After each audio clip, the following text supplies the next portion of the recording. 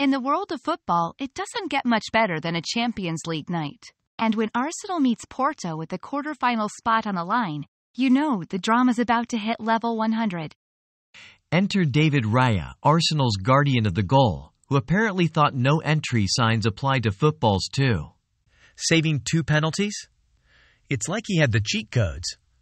And then came the shootout, the football equivalent of a dramatic opera finale, minus the singing, but add in heart palpitations. Arsenal's takers, cool as cucumbers in an ice bath. With Arsenal now strutting into the quarterfinals, a showdown with Manchester City looms like the last slice of pizza at a party. Everyone's eyeing it. But who will get the bite? Stay tuned. So there you have it, folks. Arsenal's journey continues. And if football was a comedy, they'd be the ones delivering the punchline. Here's to more nights under the lights, more drama, and, of course, more spectacular saves.